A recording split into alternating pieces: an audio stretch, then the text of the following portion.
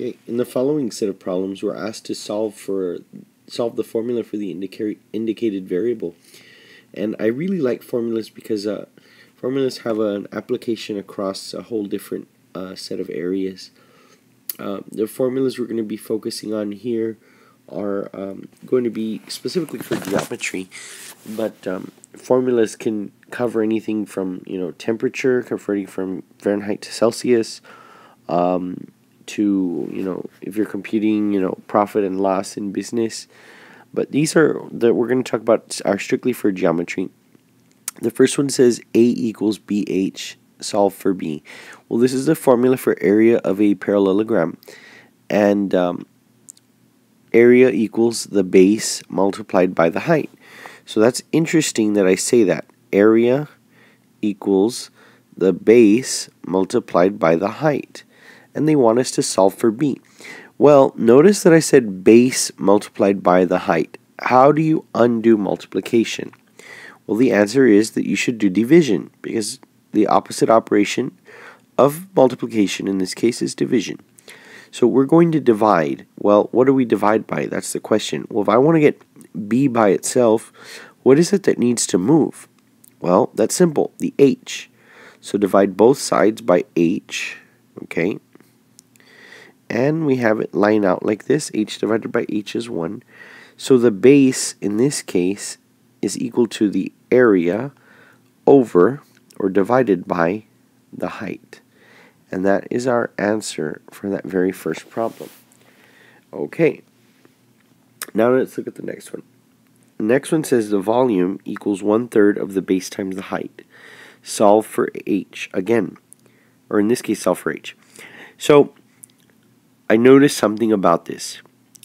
Number one is a formula for the volume V of, well, perhaps a cone, all right, or a pyramid.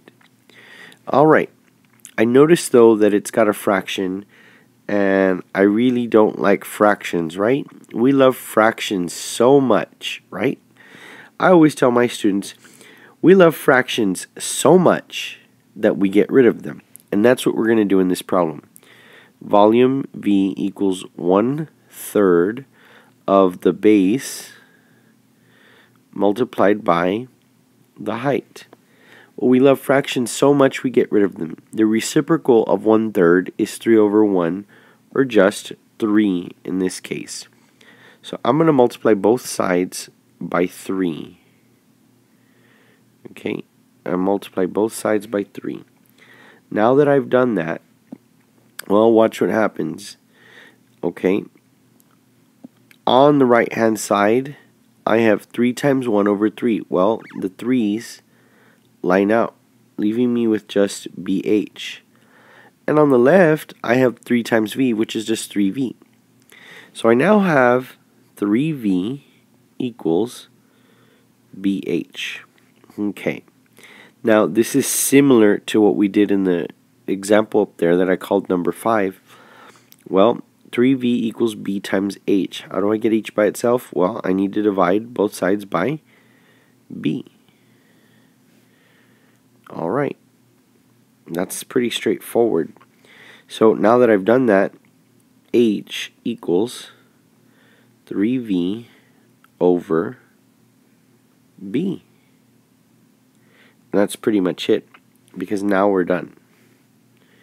That answers that question there. Alright, so then we look at the last problem, and the last problem is the formula for perimeter. And I'm going to rewrite it. I really don't care for that style of L there. I like to use capitals because it makes so much more sense. 2L plus 2W. So I want to solve in this case for W, the width. Well, I notice right here that I'm adding 2L to 2W. So what I need to do is I need to account for this and I need to subtract the 2L from both sides. Okay? And it cancels. So now I have P minus 2L equals 2W.